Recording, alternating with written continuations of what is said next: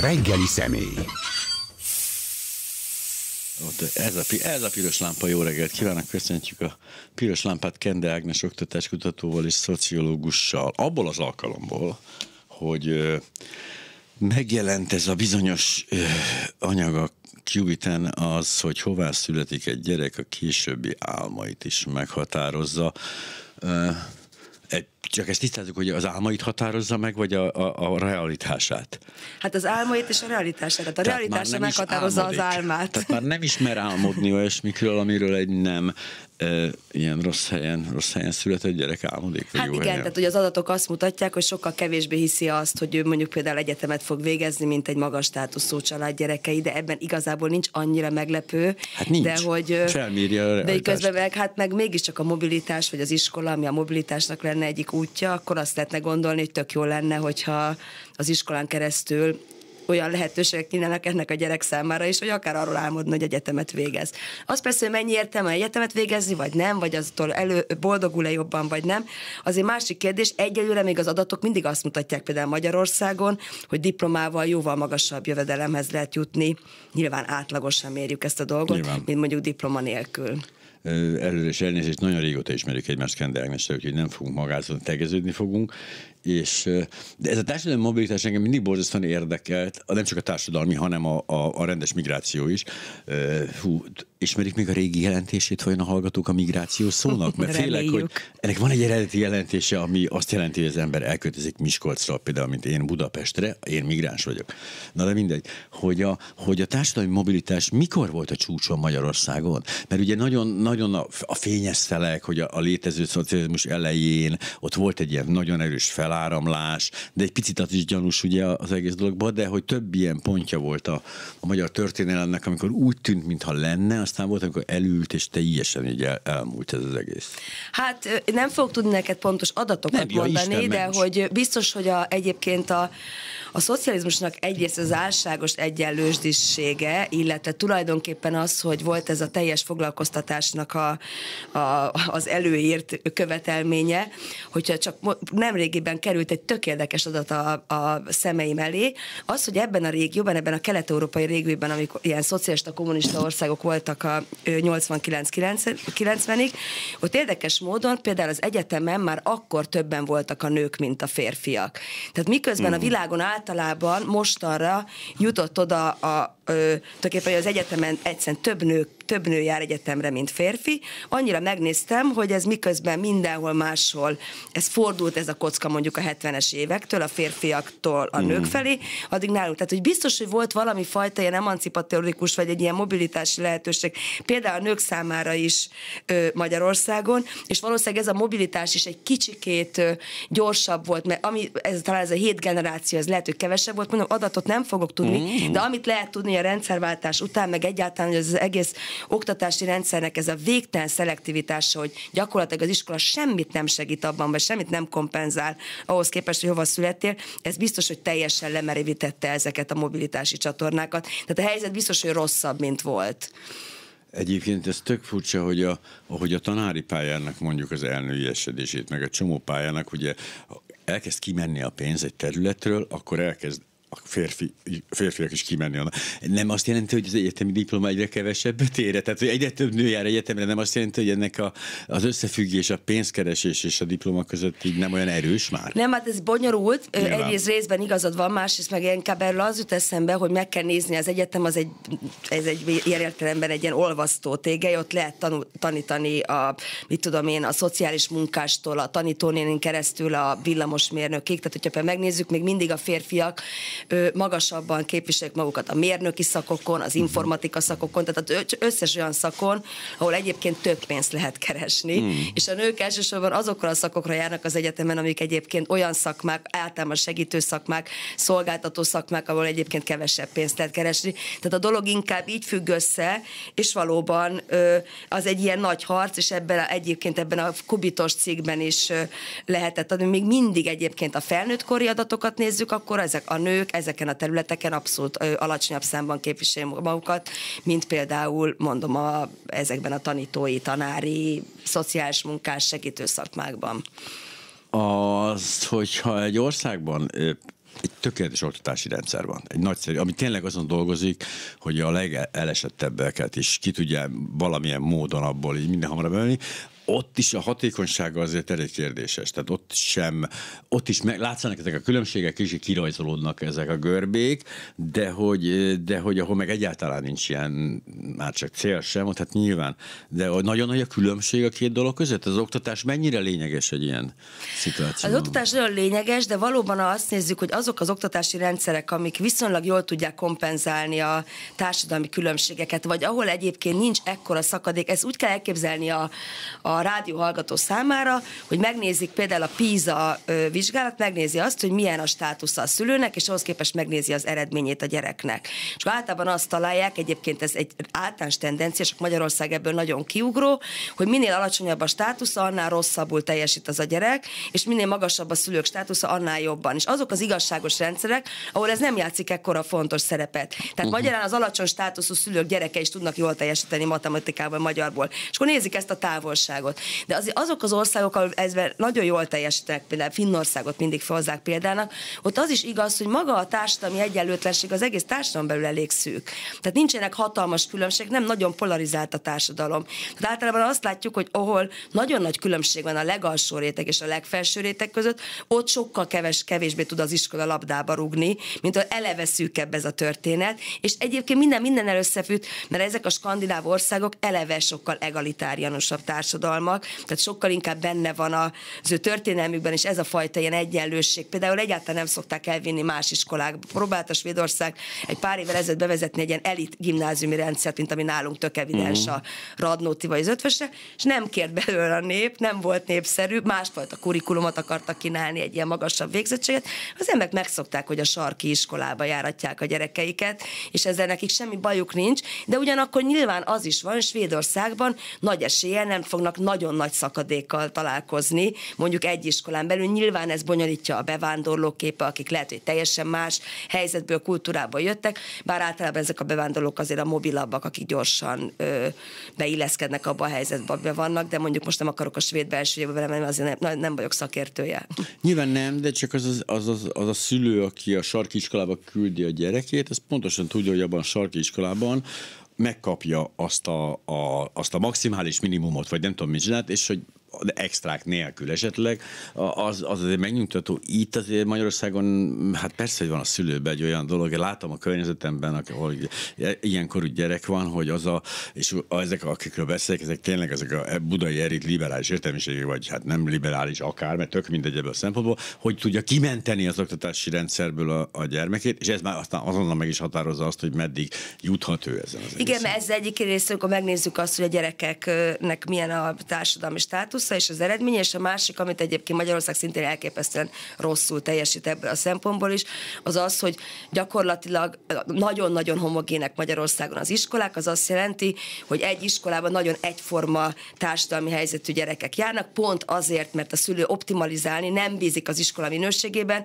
és egyébként összepárosodik, azokban az iskolákban van magas státuszú gyerekek járnak általában, általában városi iskolákban, ott az iskolák is könnyebben válogatnak akár a jó tanárok között, hiszen oda szívesebben mennek el a tanárok, mert azt feltételezik, hogy könnyebb gyerekekkel tudnak tanítani, stb. Tehát összepárosodik ez a két dolog, és akkor tényleg az lesz a jó iskola, ahol mindenki nyomulni hmm. próbál. Minél jobban próbálsz nyomulni, annál jobban tudsz szelektálni a gyerekek között, stb. De ez a másik végen is igaz, hogy azokban az iskolákban, hogy nagyon alacsony státuszúak a gyerekek, azok általában az, a minőség az iskolának is rossz, ezek a szegregált iskolák, és amit ebben az OECD anyagban is lehet látni, amit a Kubiton most megjelent hétfőn, hogy, az, hogy, hogy azok az az iskolák, ahol mégiscsak betévedne egy magasabb státuszú gyerek, annak is lerontja az eredményét. Egy Ez olyan iskola, volt, igen. ahol egyébként mindenkinek, ahol egyébként alapvetően nagyon sok maga, alacsony státuszú gyerek van, ergo az iskola minőséges, emiatt rossz, hiszen oda nem szívesen mennek el a tanárok tanítani, stb. stb.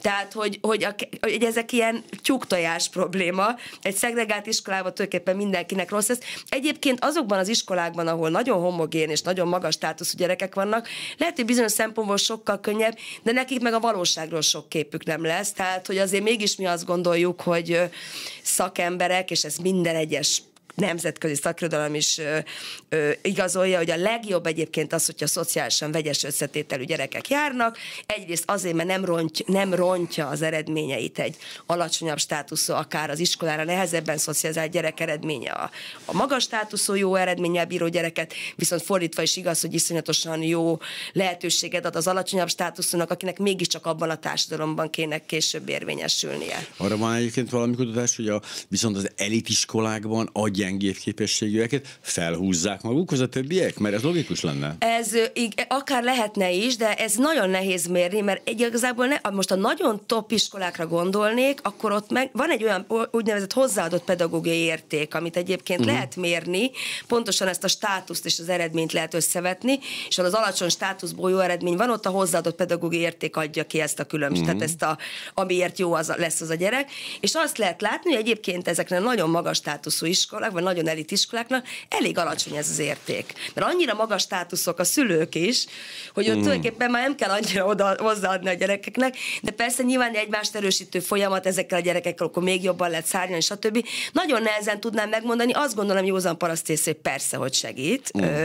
a gyengébben teljes, de mondok egy sokkal primitívebb dolgot. Tehát, hogy amikor a, sajnos még Magyarországon mindig dívik, most szembesültem, hogy a saját gyerekem iskolájában a hatodiktól ez lesz, hogy mondjuk matekból szétválasztják a gyerekeket gyengére és, és erős képességűre, ezt az angol ability grouping, vagy képesség alapú bontások. Ezt nagyon helytelenek tartjuk mi szakemberek, pont azért, mert egy ilyen önbeteljesítő proféciaként működik, hogy egy gyerek még tök alakítható, az a gyerek, akit hatodikba bevágnak a gyenge matekosok közé, el is fogja hinni magáról, hogy ő gyenge matekos, és valószínűleg nem is fog jól teljesíteni, míg hogyha be kell egy olyan a jóba, az meg gyakorlatilag még jobban szárnyakat fog kapni attól a tudattól, hogy ő, hogy, hogy ő egyébként ennek jónak számít. Nyilván vannak ebben az e- egyedi különbségek, de ez például nagyon helytelen dolog. Bőven lehet egy gyerekeket együtt tartani, és hogyha valami gyerek nagyon kiváló, akkor az az adott feladatból kapjon akkor erősebbet, a másiknak meg segítsünk. De például ez a képesség szerinti szétbontás, ez nagyon rosszat tesz a gyerekek önértékelésének, különösen a gyengébe de a képesség szerinti oktatás, amit most különösen gyakorlatilag az osztály minden tagjára személyre szabadott oktatási program kellene, hogy legyen a tanárnak, Igen. ami egy, oké, okay, én értem, hogy körülbelül hogy lehetne ezt megbostani, hogy milyen szinten nyilván nem azon a szinten, ahogy most mondtam, de hogy közben meg ez ugye az indok mindig az nem, hogy azért veszük előre a, a külön a, a jókat, mert akkor a haladás ugye számunkra sokkal gyorsabb, míg hogyha komplexen az egész osztályt akarjuk megtanítani matekra, akkor sajnos ők nem fognak tudni olyan tempóban haladni, ami egyébként működne nekik. Hát igen, de ezt hívják pedagógiai differenciálásnak, tehát hogyha profil lehetne, meg lenne segítség Magyarországon, pláne ezeknek a kicsi gyerekeknél ilyen mindenféle asszisztensek formájában, akkor egy tanár nyugodtan tud egy kis csoportnak az, arra az órára adni egy szuper erős feladatot, és attól ő tud elvileg erősebben haladni, és mégis van esélye a gyengébbnek is egyszer csak bekapcsolódni, mert rájön, hogy uh-huh. Mhm. ez mondjuk értek, meg tudok. Tehát az az, amikor is szétválasztják idő előtt ezeket a gyerekeket annak hosszú távon, és ez egy kicsit csak visszautalva az előzőre, hogy vélhetőleg a gyengébb képességű gyerekeknek húzóerő tud lenni egy ilyen erős iskola, uh-huh. de gyakran itt nem a gyengébb képesség, szóval Magyarországon az még elkeserítőbb, hogy tulajdonképpen a társadalmi strátusz transformálódik képességekké. Itt korán sem arról van szó, hogy ezek a gyerekek annyival, tehát azért a mindenkori társadalomban valószínűleg az IQ egyenletesen oszlik el, alacsony Igen. és magasak között.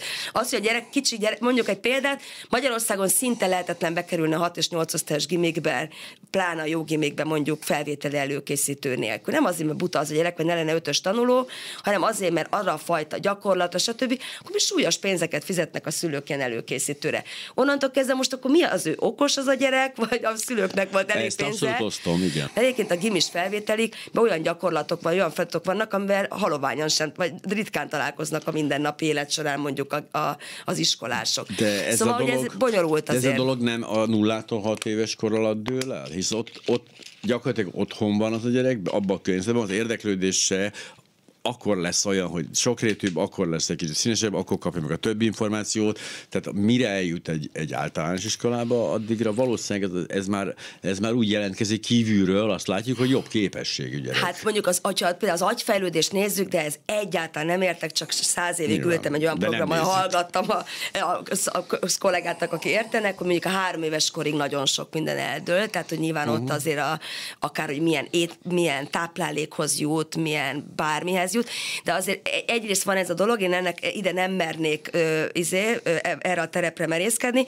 Az viszont biztos, hogy egyrészt az a 0 6 éves korig mi történik, az annyira relatív. Tehát lehet, hogy nem az iskolára készít föl az a szocializáció, amit otthon kap az a gyerek, de egy csomó minden más sem, meg igen, amit az iskola nem értékel. Tehát, hogy mondjuk elképzelek egy nagyon szegény sorban élő nagy családot, mondjuk cigány családot, rengeteg testvér van, és iszonyatosan meg kell tanulni alkalmazkodni például. Vagy azt kell csinálni, hogy mit tudom én, a, már korán, pici gyerekkorban kiviszik a családot, mert együtt szedik a gombát, amiből meg tudnak élni, vagy a gyógynőt. A gyerek egy csomó olyan dolgot megtanul, ami képességre egyáltalán, vagy készségre egy kicsit sem kíváncsi az iskola, mert valóban otthon nem is volt tér arra, hogy Montessori tornyokat építgessenek, amit viszont sokkal jobban honorál majd a, az óvoda vagy iskola. Egyébként ezért van az, és erre számtalan program ö, igazolja ennek a sikerességét is, hogy a kora gyerekkori intézmények, tehát az, hogyha 0-tól 3 éves korig Magyarországon mondjuk a bölcsödének nevezett típusú intézménybe pláne magas színvonalú intézménybe bekerül egy gyerek, pláne az ilyen alacsony státuszú családokból lévő gyerekek, akkor egyébként az nagyon-nagyon elegendő ahhoz, hogy kompenzálja már az uh-huh. óvodára, vagy akár az iskolára való készséget, de ez bonyolult, mert pont például a legszegényebb roma gyerekeknél falvakban elérhetetlenek ezek a bölcsöde típusú intézmények, és eleve a bölcsöde építéssel amúgy is le vagyunk maradva Magyarországon. Nagyon-nagyon rosszak azok az adatok, hogy a női munkavállalás például három év alatt az azt jelenti, hogy gyakorlatilag otthon maradnak. Maradhatnak is otthon a gyes miatt, egy alacsony pénzzel, van egy biztosítottságuk, bár nagyon kevés ez a pénz. Minden esetre ez a fajta bölcsöde fejlesztés azért ez egy ilyen még a kormány is ígéri, hogy ebbe, ebbe valamit fektetnek, uh-huh. de mondjuk például a falusi legszegényebb gyereket, akinek a legnehezebb ez a mobilitás, azért az kíváncsi, hogy mikor fogja elérni például jó minőségű bölcsöde. Ezt például hogy oldották meg? Mert máshol is vannak falvak, máshol is vannak szegényebb részek. Ezt hogy sikerült megoldani? Mert nem hiszem, hogy mindenhova építettek egy bölcsödét. Mármint, hogy Magyarországon, ne, hogy ne, ne, ne, abszolút külföldön, ahol sikerült megoldani. Egyrészt ezt most nem fogom tudni neked ja, megmondani, jó, hogy, hogy ezek a korai gyerekkori intézmények hogy néznek ki. Ha most csak a modern nyugat Európára gondolok, nem maradnak a nők ennyire sokáig otthon, tehát ezek az intézmények sokkal jobban ki vannak építve. Hát figyelj, az, hogy nem, nem tudom, hogy ezt hogy csinálják. Uh-huh. Nyilván egy Hollandiára gondolok például, olyan kicsik a távolságok, meg annyira urbanizált az, az egész, hogy valószínűleg Ott így a, a vidék és város. a város is uh-huh. sem köz, nem, nem, ez a fajta kép, hogy ilyen, tehát nem ilyen bukolizált falvakról beszélünk szerintem, vagy kevésbé, mint mondjuk Magyarországon. Tehát, hogy nem, nem tudom ezt most így neked megmondani. Az biztos, hogy az adatokból tudom, hogy sokkal inkább járnak intézménybe, és a nők sokkal inkább vissza visszatérnek a nulla és három év között is a munkaerőpiacra, miközben a magyar nők meg három év fölött térnek föl elképesztően. Tehát ott meg úgy utalérjük az uniós átlagot, sőt, még el is hmm. adjuk, ott már 80-90 százalék között van a női munkavás, ami viszont nagyon magas Európán belül. nem tudnak ami megélni a férfi Hiszen nem lehet megélni egy fizetésből, meg hát egyáltalán a női munkavás az a női emancipációnak a része, tehát én abszolút üdvözlöm ezt a dolgot, hogy a nők vissza dolgozni, de feltűnő a szakadék a 0-3 uh-huh. Hmm. éves nők munkavállalása és az a fölötti között. Arról tudunk valamit? Te, mert én nem. Hogy arról tudunk valamit, hogy viszont milyen plusszal jár ez a három év, amit a, a, az anyával tört szorosan ilyen szimbiózisban ez egy gyerek? Mert biztos valahol azért valamit ez is ad hozzá valami másfajta dolgot. Hát egyrészt nyilván, másrészt, hát nem, szerintem e, nem tudom, most nem uh-huh. akarok ilyen szabályokat mondani, meddig. Persze egy pár hónapig, amíg szoptat az ember, meg egy évig biztos tényleg jó, meg a nehéz elválni az a kicsi gyerekektől, de utána szerintem különösebben semmilyen indok nincsen, és éppen most írtam nemrég a Kubiton egy cikket egy más másikat, amiből egy szakember arra olyan kutatásadatokra hivatkozott, hogy két év fölött már gyakorlatilag nincsen semmilyen indok, ami azt mondaná, hogy ártana a gyereknek egy intézménybe járás. Uh-huh. Tehát, hogy azért ez nálunk túl van lihegve. Ez már biztos millió vendég elmondta itt, mert azért ez egy elég közismert tény, hogy amikor a 67-ben a gyers bevezették, és tulajdonképpen azért, mert a nők egyszer nem, nem tudtak szocializmus ezt a teljes munkát, ö, foglalkoztatást biztosítani, és a nőket ki kellett vezetni a munkaerőpiacról, és ez egy ilyen jó megoldás volt, hogy akkor az anyassággal otthon tudnak maradni, valamennyi pénzt ezre biztosított is, és ez szépen ráépült egy ilyen ideológia is, hogy a nők, hogy a gyereknek három évig otthon a helye az anyával, mm. hogy ez milyen jó lesz. Szerintem ez nagyon sok fájdalommal jár.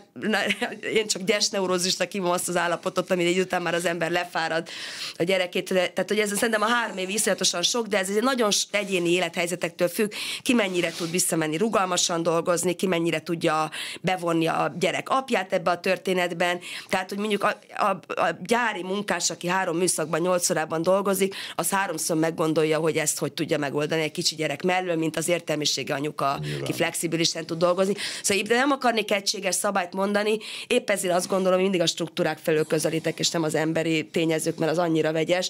Szerintem jó intézmények kellenek, hogy lehetőség legyen az anyáknak visszamenni. Én ugye 65-ösként, én ugye négy hét volt, ha jól emlékszem az elbeszélések alapján, és amit kettővel meg lehetett hosszabbítani. Tehát hat hét volt, és aztán ment vissza anyám dolgozni. Ami, ami, de én, én nagyszülős voltam, tehát nem, nem voltam intézményben akkor sem. Nagyon később, a középső csoportba kerültem be intézménybe, de megbántam, mondanám. De hogy most ez, ebből a szempontból mindegy is, csak nem, nekem nagyon nem vált be az intézmény. Lehet, hogy például azért, mert későn kerültem be, nem tudom. Hát, vagy én... nem volt elég jó, vagy bár millió oka lehet a dolognak. Mindegy, meg egyébként Egyébként az, hogy hogyan, persze, tehát nagyon sok, nyilván egy csomószor egy konkrét helyzet tehát nézve az ember aztán hoz egyéni döntéseket, és lehet, hogy abban a helyzetben az a legjobb, hogy háromig otthon maradj.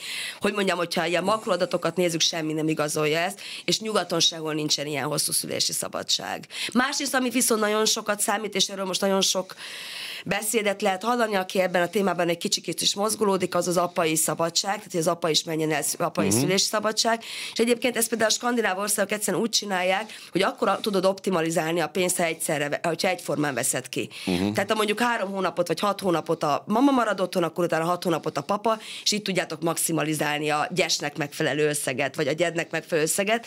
Tehát megéri ezt csinálni. Ez nem azt jelenti, hogy kötelező ezt csinálni, Nyilván. de gyakorlatilag rá, a rendszer meg a pénzek rábeszélik a, a szülőket arra, hogy tényleg tök egyformás. Onnantól kezdve, hogy munkaadó azt látja, hogy a papa ugyanúgy otthon tud maradni a beteg gyerekkel, mint a mama, tehát hogy nem lesz megbízhatóbb munkavállaló, mint egy nő, na, na, akkor na, na. már... Addig, amíg a férfiak nem menstruálnak, azért a munkaadók ezt nem fogják így gondolni.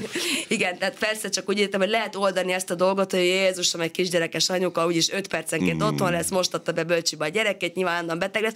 Szóval ez a fajta ilyen, ja, ja. ilyen sóhaja nők körül, az valószínűleg oldódni fog, oldódna például lesz, hogyha ezt a dolgot itt sokkal egyenlőbbé tennék. De hát persze olyan sok változat van, van, aki meg egyedül vállal a gyereket, ott meg nincs papa, akire számítani, vagy fordítva. Igen, egyébként ez a rettegés, hogy úgyis egy fiatal nő, hát ez mindjárt szülni fog. Hát most betanítom, addig elmegy szülni, hát nem fogom felvenni. Ez egy létező dolog egyébként, persze nyilvánvalóan, hogy is mondjam, tehát nagyon kevés realitása van. Tehát nagyon kevés olyan helyzetet tudok elképzelni, hogy ez tényleg számít, de hogy ez sajnos az előítélet működik. De hogy a, de hogy a, de hogy a, a, a munkavállalásra egy picit térjünk meg vissza, mert az, az tényleg barom érdekes, hogy ugye nyilván azért mennek vissza három év után a, a nők, addig is borzasztóan kevés lehet az egy fizetés plusz egy de nem tudom micsoda, utána visszamennek, de hogy, a, de hogy tudnak, tehát az, hogy a százalékban nagy százalékban mennek vissza, az oké, okay, de, de ezzel mennyire rekeszti meg őket a, a rendszer az előrelépésben, az előrejutásban? Hát nagyon, tehát ebben most pont erről is volt egy, az, szóval volt most egy, a Budapest intézetek volt egy friss kutatása ebben az ügyben, és ez nagyon nagy probléma, pláne, hogy a nők, és ezt látok sehol nem látják, pont ezek a kutatók írják ebben a tanulmányban, hogy ez egyáltalán nem szokás, hogy itt érde, az anyukák így össze, vagyis a családok így össze torlasztják a gyerekeiket, 5-6 évig otthon maradnak emiatt a gyes uh-huh. miatt, akár két-három gyerekkel, és az már iszonyatosan sokat számít a, a munkaerőpiacról való kimaradása, tehát hogy igazából emiatt is iszonyú hátrányokkal indulnak, mert gyakran olyan területen vannak, nem képzik magukat, ezeket ebben a kutatásban HR-esek panaszkodtak, hogy baromi nehéz egy, még egy, egy másfél év kimaradás is nagyon sok bizonyos területeken a munkaerőpiacról.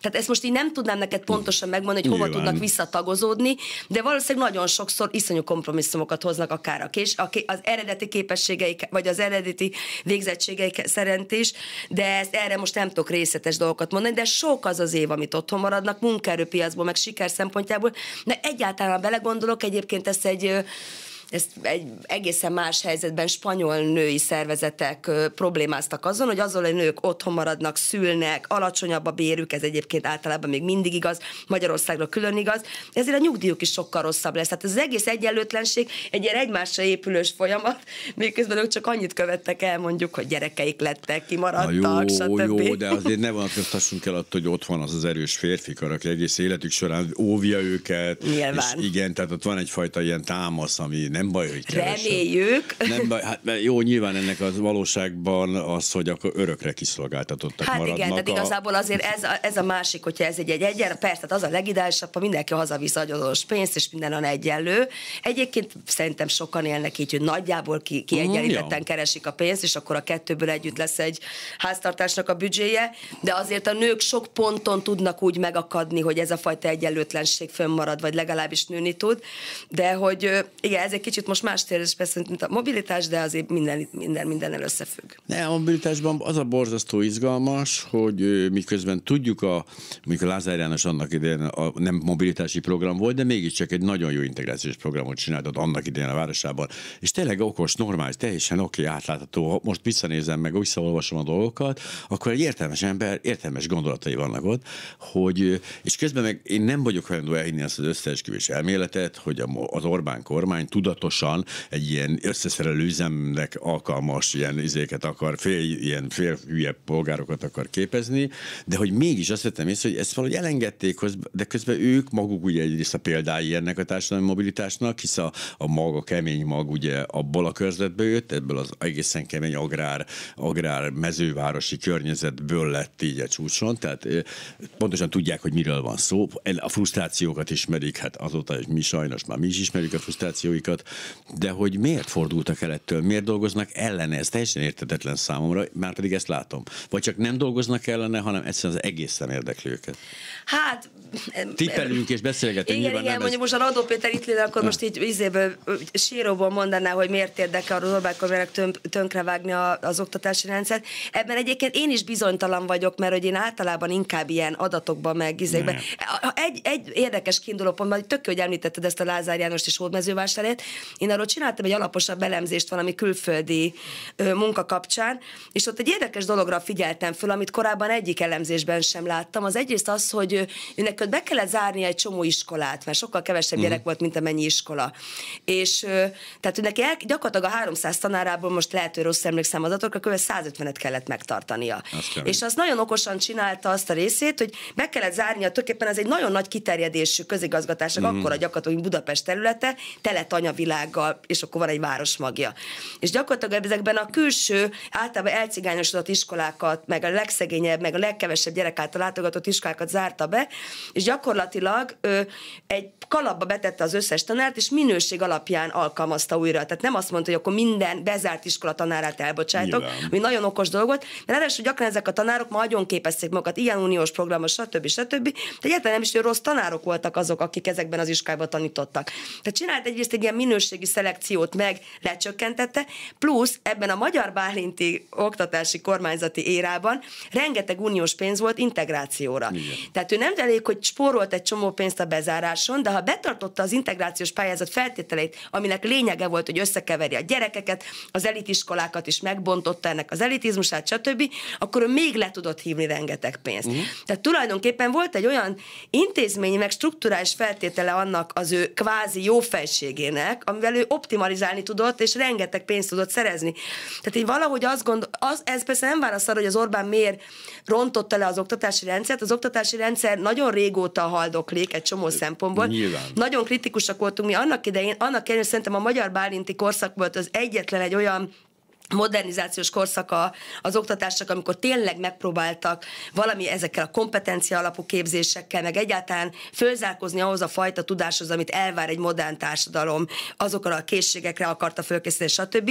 Ezt visszafordította, de részben azért ennek volt egy oka, hogy a Hoffman Rózsa, amikor megérkezett, azért a magyar pedagógusok nagy része elég konzervatív, és ott kicsit ilyen elülve nézték ezeket a változásokat, tehát hogy ez nem, az erején ez nem volt egy, okay. ilyen, egy ilyen nagy szakadék, az a tanárok értették ezt, hogy a Hofmaros mit akar visszafordítani. Hogy ne persze, mert ez nyelvükön beszél, de hát pont ez a történet, hogy nyilván ez arra lett volna jó, hogy a következő tanár nemzedék, aki belép a rendszerbe, az, az már e, belép bele, és innentől kezdve ez a dolog, e, mert az, hogy tehát Önmagában az a gesztus azt gondolom, hogy egy trollkodás volt, és egy, hogy a keresztény demokratákra bízta az oktatást a legtöbb esetben. Szóval azt jelenti, aki egy kicsit is értelmesebb egy fehér répánál, az pontosan tudja, hogy hát azért ott, azért ott nem az a, tehát nem az a, az intellektuális elit csoportosult jegecesedett ki, akikre ezt rá lehetne bízni.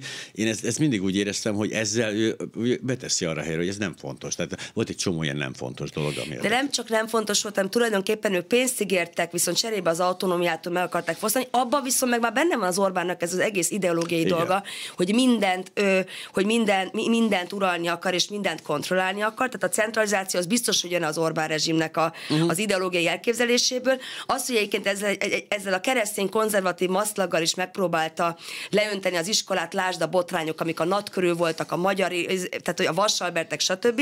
Tehát, hogy ez a része biztos benne van, de közben meg nyilván az van, hogy azért Magyarország legnagyobb állami foglalkoztatott rétege az a tanárok. Tehát van 147 ezer tanár, akinek egy fizetésemelése az egy tényleg egy tetemes összeg, bár most az. nem akarok demagóg lenni, lehet, hogy nem a izére Vodafone-ra kellett volna költeni, ők stb. Tehát, hogy lett, lett volna annak helye máshol, és de egyébként amúgy is értelmetlen lenne ezt az egész tantárgyi struktúrát így föntartani, meg ahogy tanítanak. Tehát igazából nem is arról van szó, hogy tanárhiány van, és alacsonyabb ér, hanem az egészet át kéne hát struktúrálni. Hát teljesen más tantárgyi struktúrában, sokkal kevesebb tanárral, sokkal hatékonyabban, sokkal magasabb fizetésért kéne alkalmazni a tanárokat, de ez egy olyan szintű reformot igényelne, meg olyan fajta elköteleződést egy teljesen más világ és ideológia mellett, amivel valóban nem rendelkezik az Orbán. Azt én is egy kicsit konspiratívnak gondolom, hogy direkt akarja lebutítani a népet, ebben ja. ez ilyen, nekem is olyan túlzó, jól hangzik, stb., de sok-sok elemében látszik, hogy egyébként különösebben nem érdekli az a dolog, lásd merengő bölcsészek, lásd az örökös kísérletű a szakképzés, a korábban szakmunkásként vagy szakiskolaként ismert dolgot fölfejlesz, ezért soha nem sikerül neki, bármikor megnézzük az adatokat, nem bír 20-22 százaléknál magasabb lenni az, aki szakiskolába akar jelentkezni. A kötelezettségi kornak az, az, igen, az megint egyébként volt egy igény, mert, mert azokkal a nagyon problémás, már nagyon kudarcos iskolai karrierek után lévő gyerekekkel még ott benyűglődni 18 es korig, az először nagyon sok pedagógust felszabadultan uh-huh. örült, hiszen ez megint a szakiskolákat érintette. Most már a visszamész és megkérdezed, már ők is látják, hogy mennyire veszélyes. Mennyire megnőtt a, a, az, az iskola elhagy, korai iskola elhagyók számok, a bukások száma, az, az egész rendszert egyébként nagyon átláthat, vagy nagyon nehezen átjárhatóvá tették, bár most azóta történtek módosítások, én nem követtem a legújabb szakiskolai reformokat, annyira nem tudnék erről most beszélni, de minden esetre azért az egy, az, az, az egy erős üzenet volt, hogy elengedjük a kezét az a, a társadalom alsó 10%-ának. Hiszen ez őket érinti nyilvánvalóan. Persze, tehát ez, ez tehát olyan, mint, a, a, mint amikor bizonyos segély, vagy bizonyos segítéseket a, az adó, adó visszatérítéshez kötnek, hogy ezzel csináljuk úgy, hogy valahogy ne jusson a cigányoknak. Azt úgy lehetne, és akkor megy az ötlet. De, de annyira egyértelmű, és kilóg a lóláb ezekben a dolgokban. a romákkal, hogyha ez egy mondat erejéig visz kitérhetek erre a témára, ami szerintem történt, még nagyon nehezen látszik adatokból, bár ö, már talán vannak tendenciák, csak kérdés, hogy ezek a krízis most ezt hogy fogja megfordítani, hogy olyan munkaerőhiány volt az elmúlt 8-10 évben, hogy tulajdonképpen végre a romák is kaptak olyan helyen lehetőséget, ahol korábban egyszerűen akár az előítet, nem vették föl. Tehát egyrészt a félország kivándorolt külföldre dolgozni, Igen. ez a romákat is érintette, tehát ők is nagyon sokan elmentek külföldre dolgozni. Másrészt egyszerűen, amikor nem tudsz kivel, fölvenni egy konyhai kisegítőt, a szállodában nem tudom kicsodát, aki reggeliztet, akkor, akkor romát fogsz fölvenni, ami elképesztő jó, mert egyrészt a többségi társadalom olyan szerepekbe találkozik velük, ami korábban elképzelhetetlen volt, másrészt meg tulajdonképpen ők is anyagi biztonsághoz jutnak, és ettől el tud kezdődni ez az egész középosztályosodás, ami után akkor el fognak tűnni azok a problémák, amik most problémát jelentenek. Kénytelenek az értelmesebb munkákkal is megbízni őket, amiben esetleg megtalálják És kiderül, hogy abszolút alkalmasak és, rá. Az, az nyilvánvaló, az nem kérdés, csak úgyis nem engedték be őket az ajtón. Igen, tehát, igen. de most, be, most egy csomó olyan látom, meg halljuk, hogy beengedik az ajtón őket jobban. Az más kérdés, hogy miután az egész helyzetből, meg a képzetlenség, meg stb. miatt nyilván abban, hogy krízis van, meg megint munka nélküliség lesz, akkor nyilván ők lesznek megint az elsők, akik elveszítik elveszitek ezeket a lehetőségeiket. Mind, mindig. Én nekem Miskolcon szerencsém volt végignézni, ugye a, már nem laktam ott, de még elég gyakran visszajártam, ugye a rendszerváltásnak azt a pillanatát, amikor a Lenin Kvászati művek nevű monstrum és a Diósgyőri gépgyár kisebb monstrum, egyszer csak azt mondta, hogy hát el, jó napot kívánok, bocsánat, akkor ez most ez 40 ezer ember, az akkor most elmenne. És hogy ott a folyamat, ahogy, ahogy tényleg egészen pontosan kirajzolt, kik az első körösök, kik a második körösök, kik soha valaki ott maradnak, az ijesztő volt, mert azért amikor ilyen, tehát amikor ilyen élethalálharc van, akkor a rasszizmus nagyon szépen kirajzolódik, tehát addig még ha nem is tűnt föl. Hát ezt hívja a tudomány státuszféltésnek, tehát amikor a, nem, neked is annyi veszteni van, és úgy érzed, hogyha még bárki arra a kont, pici koncra rá, akkor, mm. akkor neked még rosszabb lesz. Tehát ilyenkor erősödnek föl abszolút a szélsőségek az Ezt ilyen bizonytalan helyzetben. A, igen. a szegregációban a legrosszabb körülmények között élő fehérek, amikor a legszélsőségesebb jobboldali pártba vetik a hitüket, mert legalább, legalább nem vagyunk cigányok, de ugyanazt az életet élik, ugyanazért a pénzért, és ez mindig, nem, nem mondom, hogy vicces, mert nagyon szomorú, de hogy ezért nagyon ott Igen. kijön.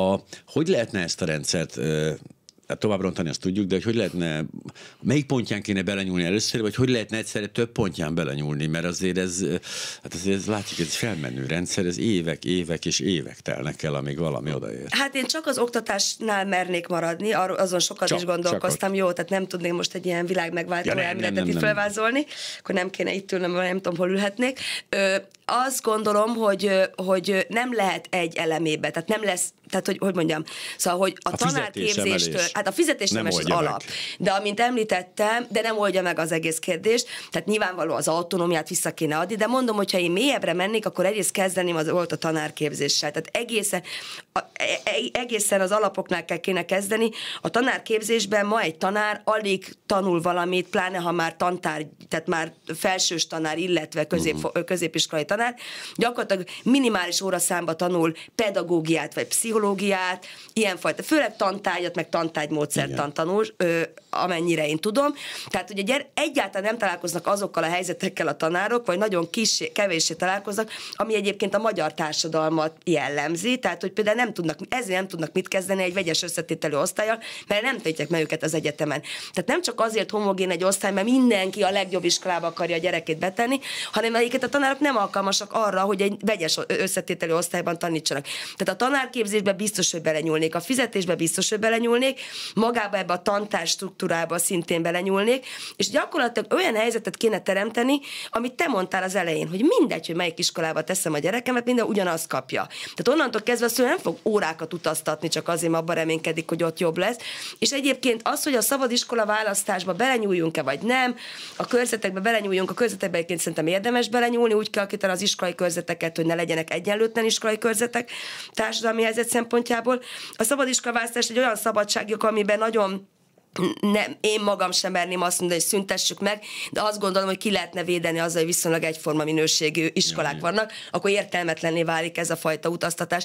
És egyébként én a, egyébként felszámolnám, most biztos megköveznek a rádióhallgatók a 6-8 osztályos gimnáziumokat, szerintem az egy nagyon egészségtelen dolog, hogy három ponton lehet kimenni az iskolákból. Ez egyrészt nagyon rosszat tesz azoknak az általános iskoláknak, akiket elhagynak ezek a gyerekek. Másrészt pedig ezt a szelekciót iszonyatosan erősíti a 6 és 8 osztályos gimnázium gimnázium, hogy gyakorlatilag nem járnak olyan gyerek, akinek nem, nem lenne diplomások a szülei.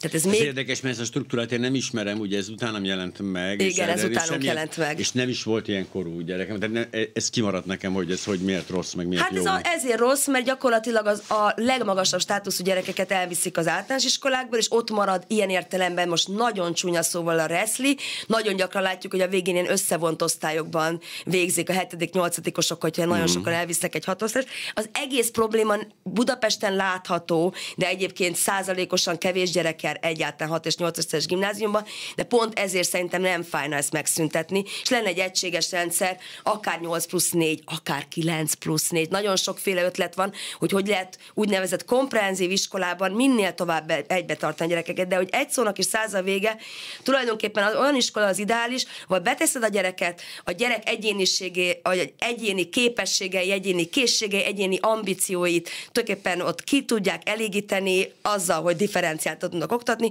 és minél tovább bent tartod egybe a gyerekeket vegyesen, és aztán minél később elválasztani ezekre az utakra, amit mondjuk most magyarul nét, hétköznapi nyelven szakmunkás, szakközép és gimiként ismerek. Uh-huh. Tehát egyébként a világban ezek a legegészségesebb, legjobban, leghatékonyabban működő rendszerek, hogy minél később választják el a gyerekeket egymástól. És addig tulajdonképpen formálódik az a gyerek, alakul, izé, lehet, hogy azt hiszi 5 éves korában, hogy, vagy 8-10 éves korában, hogy izé, fodrász akar lenni, de lehet, hogy 14 éves korában meg már atomfizikus. Tehát, hogy minél később kelljen ilyen utakra Mert ő neki átállnia. érzed, hogyha... Akkor el kell választani. Igen, 14 évesen. Persze Magyarország ilyen szempontból nagyon vegyes, mert tulajdonképpen 8 után kell választani, nálunk másért rossz ez a rendszer, mert a, a szakiskola az egy nagyon az egy nagyon alacsony presztízsű szak, és általában a munkaerőpiac egy csomó olyan készség, minél magasabb, tehát tudom, bőven elég érettségi után mondjuk szakmát tanulni például, és akkor ez egy ilyen nagyon minőségi, nem tudom, hegesztő lesz belőle. Vagy, elég lenne vagy... egyébként, sőt, a diplomát sem, ugye ismerünk olyan országokat, és tényleg Hollandia jó példa, hogy, hogy az az teljesen természetes, hogy a taxisofőrnek diplomája van. Tehát ez fel sem merül, hogy nem.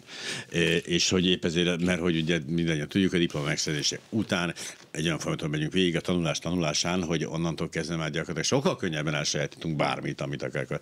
De hogy a tantárgy struktúra az iszonyú fontos lenne, ezt csak megemlítetted, hogy ezt meg kéne változtatni, de hogy én, hát ez nagyjából a 60-as, 70-es évek tantár struktúráját érze. Jó, a világnézetünk alapja helyett hittan, de hogy alapvetően ezek a nagyon-nagyon elválasztott nyelvtan, irodalom, történelem, földrajz dolgok, ezek hát egészen meghaladottnak tűnnek azért a világ hát többi részében. Akkor dövetem, amikor van egy ilyen késői tíz éves gyerekem, aki most negyedikes, és amikor az első szám meg kellett vennem ezeket a, ezeket a dobókockákat, meg ezeket a számegyeneseket, igen, meg igen, a piros, igen. úristen, tehát 1978 amikor én kezdtem pontosan, hogy ezeket a tárgyakat kellett megvennem. Lehet, hogy persze azóta nem találtak ki jobbat, és így a legjobb tanítani a... A kiskorongokat is? Hát minden, ugyanaz. Ja, Kiskorong, kék, vizé, papírdobol, papírdobókocka, meg benne vannak a kirangok. Tehát lehet, hogy tényleg semmit nem változott azóta a dolog, de hogy, hogy, hogy nem, tehát a tantárstruktúra pontosan, tehát ezeket sokkal praktikusabb szempontból kéne megközelíteni, valószínűleg a gyerekeknek sokkal inkább olyan fajta alapkészségeket kéne fejleszteniük, amiből a végén akár, mit tudom én, a matematikát össze lehetne kötni a technika órával, és a végén egy asztalt ki tudnának faragni, és ki tudják számolni, hogy mi hogy van. Most persze ez egyáltalán nem értek, de hogy azért nem véletlen, hogyha megnézzük a, a különböző ö, ö, alternatív iskolákat, iskolákat, akár AKG-től, de még a számomra azért kritikával kezelt, de még a Waldorfban is egy csomó ilyen epohális oktatáson, ahol gyakorlatilag együtt egy témát tanítanak kvázi minden tárgy szempontjából. Sokkal elmélyültebben, mint ilyen fragmentáltan. Szóval az egészet persze újra kéne gondolni, és sokkal inkább abból kiindulni, mi a fenére van szükség felnőtt korban. És akkor még egy dolgot egyáltalán említettünk, a digitalizációt. Tehát Igen. az iskoláknak fel kell azt számolni, hogy van egy offline élete, meg egy online élete a gyerekeknek, ami így elválasztódik, hanem ez egészet sokkal inkább be kéne építeni, ami a gyerekeknek a, a most már az otthon esetben nem lehet elbújni. Egyébként pontosan az zaklatásokban ott nincs elválasztva. Ott tehát az, az offline zaklatás gond nélkül folytatódik az, az online, online térben. térben. Tehát ott ez meg, tehát ez érdekes, hogy egyébként a, kény, az ilyen kényszer, idézőjelben kényszerhelyzetek, ezek a pillanat alatt átlépnek a másik dimenzióba, és működnek tökéletesen. A, a, az rettenetes volt látni a Covid alatt a, a, a digitális oktatásnak nevezett valamit, ami tényleg először, de néha nem tényleg nem akartam elérni, de hogy, de hogy ez valóban azt jelenti, hogy nulla, fogalmuk se volt róla, hogy, hogy egyáltalán mit jelent az, meg hogy kéne, meg hogy ez, az teljesen ijesztő hát volt. igen, és az így jön az a dolog be, amitől, hogy nem, hogy, hogy alacsony presztízs van, hogy kevés pénzt lehet benne keresni, az átlag életkor 50 fölött van a tanároknak, és főleg nők, tehát nem digitális nomádok. Most nyilván uh-huh. persze tök ügyesek, ügyesek, meg nagyon sokan föl tudtak zene, megtanulták, meg izé, meg, meg rugalmasan, vagy nem tudom micsodák, de hogy azért nem arról van szó, hogy ilyen 20-30 éves fiatal tanárok vannak, akik amúgy is tök otthonosan mozognak ebben de a világban. Nem is nekik kéne ezt megoldani? Tehát, ja, nem, nem, nem, csak hát a Covid mert... előállította azt a helyzetet, hogy neki hogy... kellett megoldaniuk ezt a hát, dolgot. De ez a borzasztó, és hogy még nem ott volt is semmi. ment ez a kontrollrendszer részéről, hogy jaj, ott, ott, voltak ezek a hangok, hogy nem csináltok semmit, csak otthon ültök egész nap, mondták a tanároknak, na mindegy, pedig ott kellett nekik azért fölzárkózniuk. De én most nem is csak ezen a szinten beszélek, hanem az, hogy, hogy, hogy mit tudom én, hogy hát hogy egyáltalán az egész online világot, ahogy a, a könyvek, a feladatok, a tudás elérhető, tehát hogy kvázi azt inkább valahogy arra is fölkészíteni őket, hogy ebből hogy tudják kiszűrni azt, ami nekik fontos, vagy amit föl lehet használni klasszul és érdekesen egy magyar órán, vagy tehát emlékszem például arra, hogy a, egy érekelnek volt egy ilyen feladata, hogy, hogy a, a Dantének a művét kellett mondjuk, mit tudom én, ilyen Facebookosítania, vagy nem, és akkor így mm. előadni. Tehát egy csupa olyan feladat, amivel össze lehet kötni azt a világot, amiben töltik az életüket, mondjuk egy magas irodalmi művel, szóval, hogy, hogy, hogy vagy ez, tehát mindegy, tehát hogy szerintem nagyon-nagyon klasszul és kreatívan lehetne használni ezt az egész dolgot, és nem egy ilyen ellenségként akár kikiáltani, hogy szeg, gyerekek túl sokat töltenek a kütyüjeiken, és meg vannak ülve. Nyilván persze vannak ennek veszélyei, meg bizonyos életkorban ezek, ezek nem feltétlenül olyan jók, vagy mit tudom én, a korlátlansága, de hogy ez is egy tökre szerep, amit az iskolába be kell vinni. Hogy én nekem mindig az volt ezzel kapcsolatban, hát nagyobb lett a könyvtár. Tehát igazából tulajdonképpen egy könyvtár helyzet van, a, azt kell megtanulni tényleg, hogy melyik könyvet választod, és hogy most hol találod, mert hogy igazából az azért nem jó, nyilván egy picit e, sarkítok, mert azért egy könyvtárban azért viszonylag kevesebb olyan anyag van, ami az interneten is, igen, de hogy, a, de hogy az, a, az a digitális analfabetizmus, ami felelhető a, a szülői generáció részén, az ott azért ott ijesztő hatása van, mert a gap az, sajnos az megmaradt. Tehát, hogy itt először talán a, a szülőket kéne erre felkészíteni a digitális egész átállásra. Hát és hogy... a, igen, a gap miatt egy csomó feszültség. Pont erről is írtam akkor, mint egy cikket, hogy a, hogy a szülők emiatt igazából ilyen kicsit ilyen gyanakodva nézik meg, úgy érzik, hogy ez ártalmas a dolog. Hát ez annak idején, mint a nem tudom, tehát hogy szerintem minden szülői generáció izgul a saját gyereke Nyilván. generáció alatt, hogy valamit nagyon rosszul csinál, és De nagyon nem veszélyes. látom, hogy mit. És, Tehát nem értem, és nem látom, hogy igen, mit igen, igen, igen. Persze, abszolút. Jó, ez a tér, te, te, ez persze annyira nem értek ez a digitalizáció, csak azt mondom, hogy ez is iszonyatosan itt van, és a nyakunkon van, és ennek egy egyre nagyobb a jelentőséget, nem beszél most el az őrült vitáról, ami itt a mesterséges intelligencia bizony. kapcsán így kitört, hogy mi lesz, mi lesz az irodalommal hagyján, de mondjuk mi lesz egy tudományos dolgozata, vagy egyáltalán egy szakdolgozata, azt már szépen a chat GBT Igen, ez nem olyan, mint a, a doping meg a doping ellenőrzés, tehát folyamatosan a versenybe fejlődik Gazella meg a Gepard, ez biztos, hogy így lesz. Tehát, eh, ahogy a... nem kell elfutni előle, hanem gyakorlatilag be kell építeni az életbe, és ez a inga kilengés, ez valószínűleg valamivel normalizálódni fog, amitől Igen, csak miközben mi nézzük tök jól ezt lehet a... majd együtt élni vele. Nézzük ezt így lógatva a kőbaltánkat, ezt az egész digitális átállást. Ez már a következő fázis. A mesterséges intelligencia ilyetén megjelenése, az önmagunkat tanuló, tanító, tanuló programok megjelenése, az már, a, tehát úgy, tehát már rég ott kéne lennünk annak a kapujában, és hogy ezek aztán nagyon nehezen beosztható van. Ez nem olyan, mint hogy de jó, hogy nem vettem VHS magnót, mert tessék, itt van a DVD, de ez nem így működik. Hát igen, igen. Hát most ez olyan, ja. igen. Ja, ezek, igen. Szóval szétárjuk a karunkat, és hülyén nézünk. De hogy jól van, azért menjünk még tovább ezen a történetben. Mi, volt, mi volt ez a kutatás konkrétan? Nem, ez nem egy kutatás nem volt, egy... hanem két dolog történt, hogy egyrészt az OECD-nek van egy weblapja, ami nagyon szépen elérhető mindenféle dolog mobilitás mm.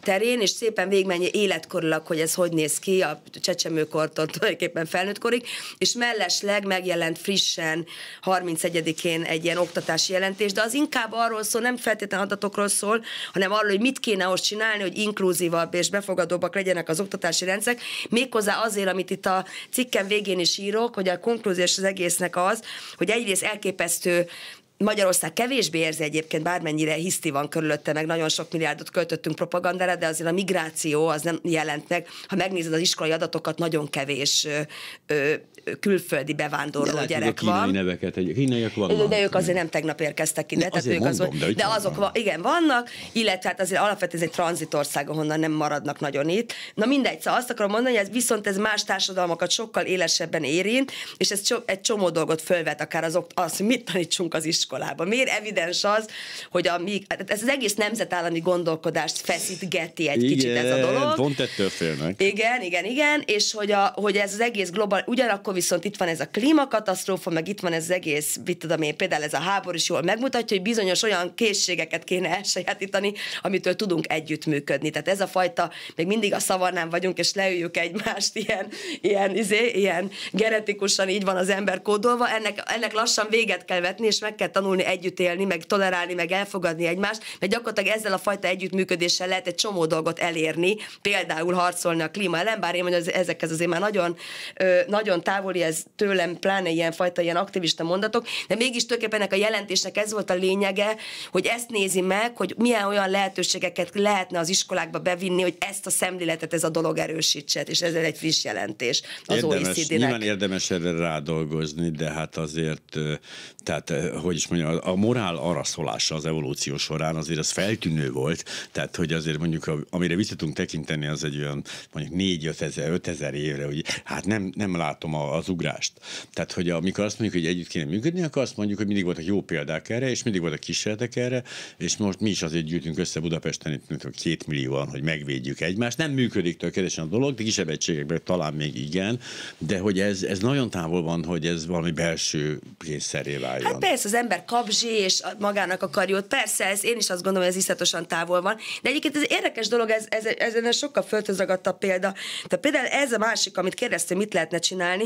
Én ugyebár elsősorban roma gyerekek helyzetével, meg oktatási egyetlenséggel foglalkozom, és abban nagyon sokat gondolkoztam, hogy a tanárképzésen milyen keveset kapnak a, a tanárok erről. De hogyha az lenne a norma például, hogy nem oké, okay, hogy tudom, ismerem azt, az, azt a metakommunikatív dolgot, hogy például megalázok egy osztályteremben egy gyereket, meg nem ismerem őt el eléggé, meg lenézem a családját, meg nem bízom abban, ahogy ők ott élnek, és ezt megtanítják az egyetem, hogy ez nem oké, fölhívják erre a figyelmet, és az válik a norma, csak a professzió körüli normává, hogy most leegyszerűsítve nem vagyok rasszista vagy előítéletes, és egyébként tudom kezelni egy osztálytermen belül ezeket a dinamikákat, akkor már jót tettem. Tehát, hogyha az a norma, hogy állandóan erről beszélünk, hogy együttműködünk, meg egyébként fogadjuk már el azt a másikat, és egy ilyen normát tudunk teremteni, akkor előbb-utóbb ez valamennyire elkezd hatni.